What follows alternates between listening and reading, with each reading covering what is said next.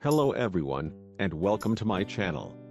In this video, we will learn how to create a local user account in Windows 11, without using a Microsoft account to sign into Windows 11.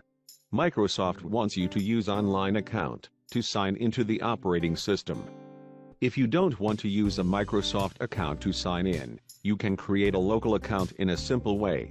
Sure, there are some advantages to signing in with a Microsoft account. But you may not feel comfortable sharing data with Microsoft. The solution is to create an offline user account. Let me show you how to create a local or offline user account in Windows 11. Open the Start menu, and open Windows 11 Settings. Then, on the sidebar click Accounts.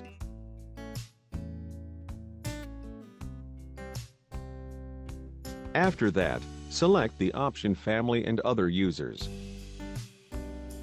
After that, under the Other Users section, click the Add Account button. The above action will open the new user creation wizard, which takes you to the Microsoft sign-in screen. Since we don't want to create an online account, click on the I don't have this person's sign-in information link at the bottom. Here on this screen. Microsoft will continue to use the online account, but we will choose Add a user without a Microsoft account. To create a local account. Then, set your username, password, and security questions.